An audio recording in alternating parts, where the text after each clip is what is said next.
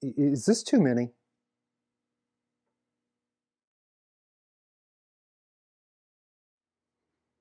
Welcome back to the DX Engineering channel. I'm Michael, KI8R. There are well over a dozen HTs currently on the DX Engineering website. And if you throw in the cheap budget branded radios, that adds dozens more.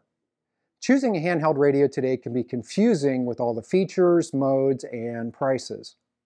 My goal here today is not to compare each handheld radio that's currently available, but to create a foundation for you to decide what rig is the best choice for you. So to do this, I've broken the process down into various topics to help you make your decision. So let's start with how much you're willing or able to spend on your new rig. This will certainly steer your decision on what you buy. You don't have to spend top dollar. For some, an inexpensive radio is all they need. For others, a few more features are desirable. Still, others want to go all in and buy the best that money can buy. Where you fall in this arena will influence your decision.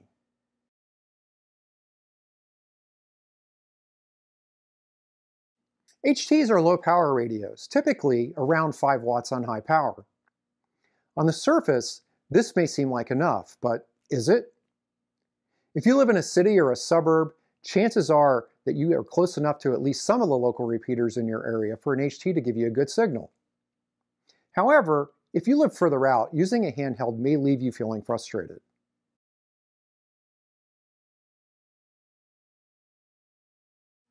Besides lower power output, displays tend to be small and can be hard to read, especially in a mobile environment. Also, navigating an HT while driving can be challenging and dangerous. And then there's the internal speaker, which for the most part can be difficult to hear in all but the quietest cars.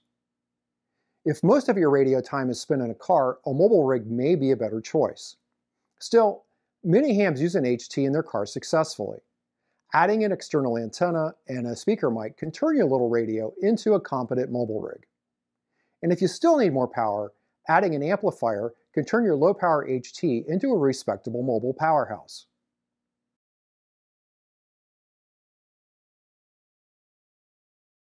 If your home has aluminum siding, you may find that your house acts like a Faraday cage. RF doesn't get in and it doesn't escape. And while this is a bit of an exaggeration, the point is, is that your house may degrade your ability to hear and be heard. So adding a larger antenna like this one, or an external antenna in your attic or outside of your home may be just what you need to make yourself heard.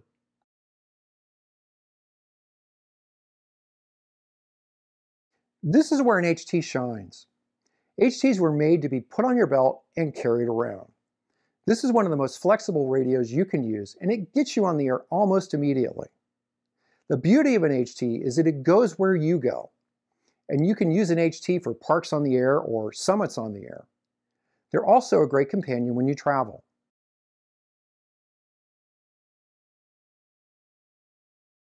Most handheld radios today are dual band, 2 meters and 70 centimeters, along with a few choices for single and tri-band models. The number of repeaters in your area and the bands that they cover will likely influence your buying decision. Also, if you travel a lot, you may find that a tri-band HT will give you more flexibility.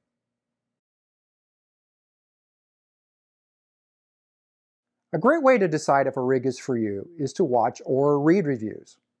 YouTube has plenty of ham radio channels that have review videos. There's also eham.net, which has reviews for almost anything imaginable in ham radio. And if a friend or a club member has a rig you're considering, get their input on why they chose that radio. Ask them what they like and dislike about it. The DX Engineering website also offers an easy way to compare most products. To do this for HTs, select the sidebar menu followed by transceivers and receivers, and then handheld transceivers. Next, select each rig you want to compare by selecting the Compare checkbox. Once you've made all your selections, click View Compare. Finally, you can scroll through this page to see the various features of each radio you've chosen.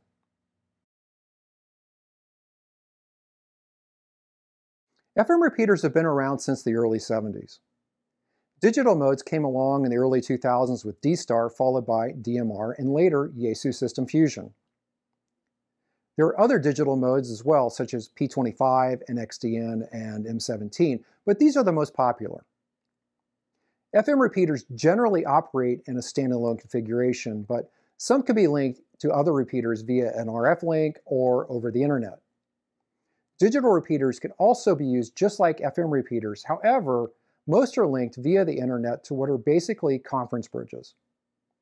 Depending on the mode, these may be referred to as rooms, reflectors, or talk groups. You can also access these modes by using a device called a hotspot, which is typically a Raspberry Pi with an attached RF modem that runs software and allows you to connect to the conference bridges. These modes will not talk to each other natively. However, some enterprising hams have built software bridges on some of the conferences that allow the different modes to talk to each other. So, should you choose FM or digital? Well, the answer is not that simple. Each mode has a learning curve, with Fusion being the easiest, followed by D-Star and then DMR.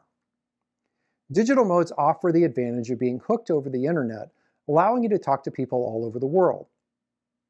You can also do this with some FM repeaters by using IRLP or Allstar. If you decide that you want to use one of the digital modes, you may want to find out what digital repeaters are available in your area, or just use a hotspot. HTs have come a long way over the years. Many of the current offerings will have features such as GPS, APRS, Bluetooth, hundreds or even thousands of memories, waterproof ratings, scanning, wideband receivers, programming software, USB connectors, weather channel and aircraft receive, and touchscreens, among others. The features you'll get will depend on the price of the radio and the model you choose. Depending on the radio, there are likely a number of accessories to choose from such as extra batteries, speaker microphones, headsets, DC adapters, cases, and programming cables, among others. Accessories are a great way to make your HT more versatile.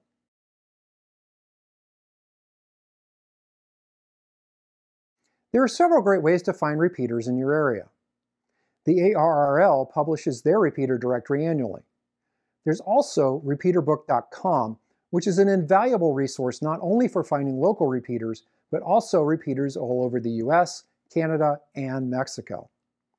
It also has some listings for repeaters around the world. RFinder is another good resource. RFinder has a subscription model and apps for iOS and Android. Some of the manufacturers offer free software that you can download to program your radio. RT Systems also offers software for most radios as well and includes the programming cable. There's also Chirp Next, which is an open source tool that will program most radios. Still not sure what rig to buy? One way to help you decide is to talk to your friends or other hams in your area about what kind of radio they use. What is it about their rig that made them choose it? Would they purchase it again? What rig would they recommend for you? My advice, buy as much radio as you can afford. Get a radio that will be enough radio for you today and something that you can grow into as time goes on. An HT is the most versatile way to get on the air, whether you carry it with you, use it as a mobile or a base station, or on a POTA or SOTA expedition you will find that there really isn't another radio that can do as much as an HT. No matter what radio you choose, get on the air and have fun. Hey, thanks for watching today. I'm Michael, KI8R, and we'll catch you on the next one.